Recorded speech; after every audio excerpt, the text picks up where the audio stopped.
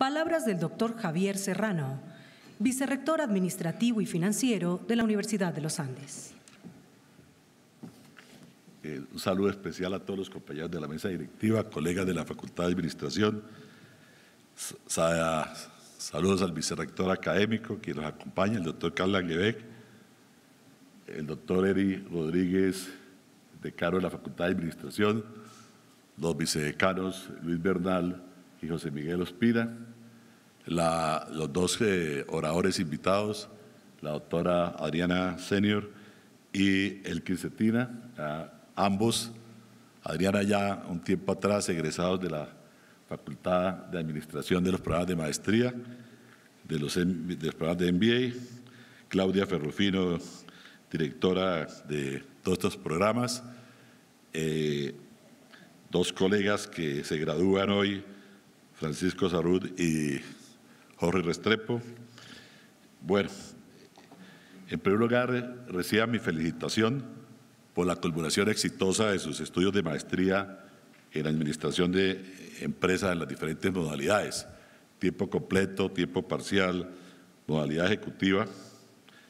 Creo que han hecho un esfuerzo importante. Yo a todo el auditorio les pido que se pongan de pie y les den un cordial aplauso.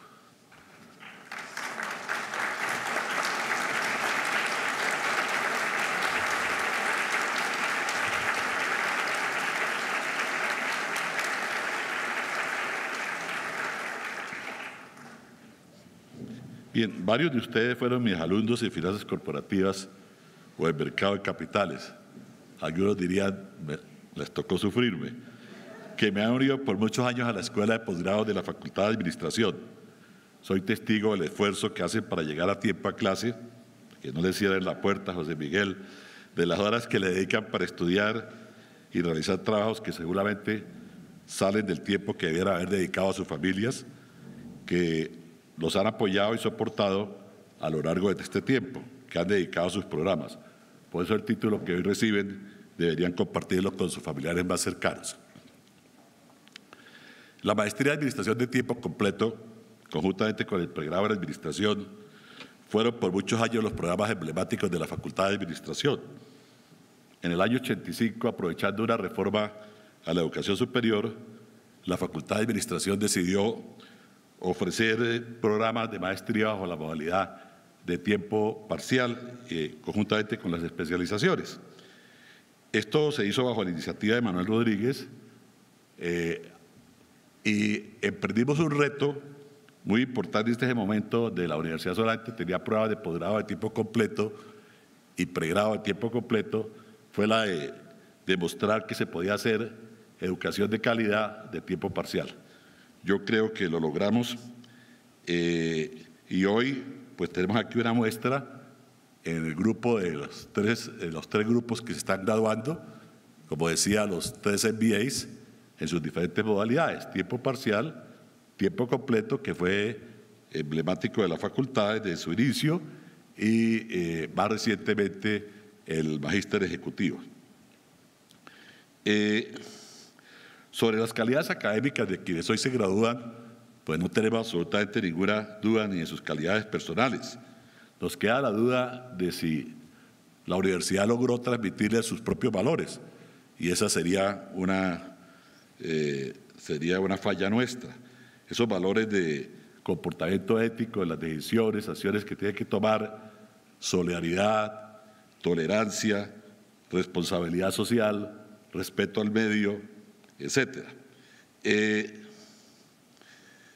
valores éticos que esperamos que los acompañen a lo largo de, su vida y que realmente los consideren y los tengan en cuenta en el momento que vayan a tomar decisiones y tengan que resolver conflictos eh, de interés que seguramente se les van a presentar a lo largo de su vida profesional si es que ya no se les han presentado. Eh, yo creo que el mejor consejo que yo les puedo dar hoy es que utilicen las competencias y conocimientos adquiridos, practiquen los valores, tanto familiares como los de la universidad, y ejerzan el liderazgo al cual están llamados por las oportunidades que la sociedad les ha dado. Esto es especialmente importante en este momento en el cual el país enfrenta un reto muy grande, que es el reto de consolidar un proceso, un proceso de paz. Eh, una vez conocidos los resultados del plebiscito, pues nos queda a nosotros eh, la responsabilidad, todos nosotros, eh, de contribuir realmente a consolidar esa paz que mi generación nunca ha visto. Realmente, si yo me remonto a mi infancia, pues yo soy hijo de una familia desplazada en 1947 de un pueblo llamado Zapatoca, en Santander, como parte de la violencia política. Y si uno ve la historia de este país, desde las guerras civiles, es que no hemos podido vivir un día en paz. Esperemos que al menos podamos eh, vivir un día o unos muchos años en paz eh, y obviamente eh, consolidando un proceso que se inició, que ha tenido sus contratiempos, pero esperamos que en el cortísimo plazo sea exitoso. En ese proceso ustedes van a tener que contribuir. Lo único que no pueden hacer es mantenerse aislados, porque en una u otra forma los va a tocar. Los va a tocar, esperemos que nos toque a todos para, para bien. Aislarse de esa, de, no es una posibilidad para ninguno de ustedes. Eso lo aprendieron en sus cursos. Es mejor tener una posición activa que una posición pasiva frente a este tema. Entonces yo tal vez el mensaje que les dejaría para, o la reflexión o el llamado que les haría para terminar es que participen, participen en la construcción de la paz. Aislarse en este momento no es una posibilidad para ninguno de nosotros.